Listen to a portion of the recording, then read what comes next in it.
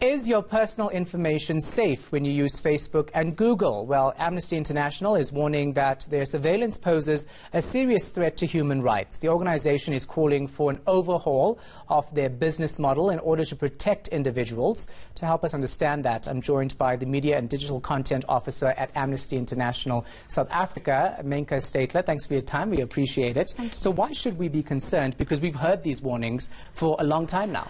Yes, we are concerned because the ultimate business model of these organizations, Google and Facebook, is that um, they don't charge for their services. All of us use it for free. They, we don't get charged. But how they do make a lot of revenue, and let's be honest, it's huge amounts of revenue, is through targeted advertising and is through surveillance, really, mm. gathering people's data and selling it on to organizations uh, that use it for targeting, uh, targeting people, uh, you know, targeting people's, um, what they see, uh, developing algorithms and marketing certain ideas. And for us, that doesn't put human rights at the core of it, and that's what we want to see change. Yeah, because it is very scary. You search for something on Google, and then you see all the adverts pop up. You, uh, some people are even saying that your phone is listening to you because when they talk about things that they want to buy, suddenly you see it. Do we know if that's actually happening, and if that's at an advanced stage when it comes to how they monitor us? It's difficult to say whether that's actually happening, but yes, we all know that if you've Googled something, and if you've even, it will even appear on Facebook as well. You can see the ads happening.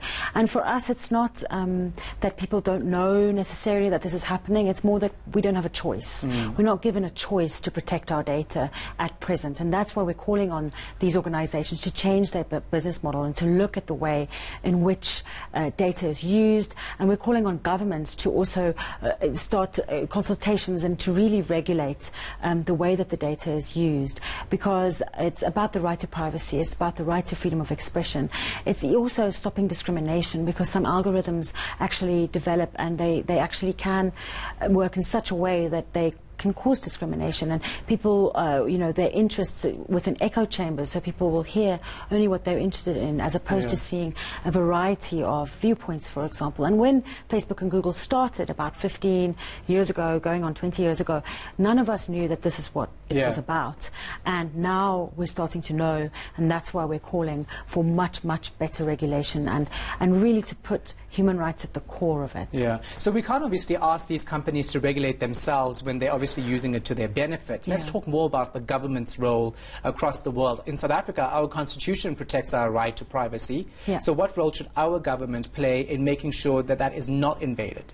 Exactly. So we are suggesting that consultations, that policy starts being developed, but it has to be very, you know, with consultations with affected groups, with tech experts, with these companies themselves to to get to solutions. Um, you know, someone asked us, yes, but oh, do you want them to charge for their services then? That's not what we're suggesting, but we are suggesting that we do need to look at a complete overall in the way that the internet is used and data is used. Again, we're not against technology.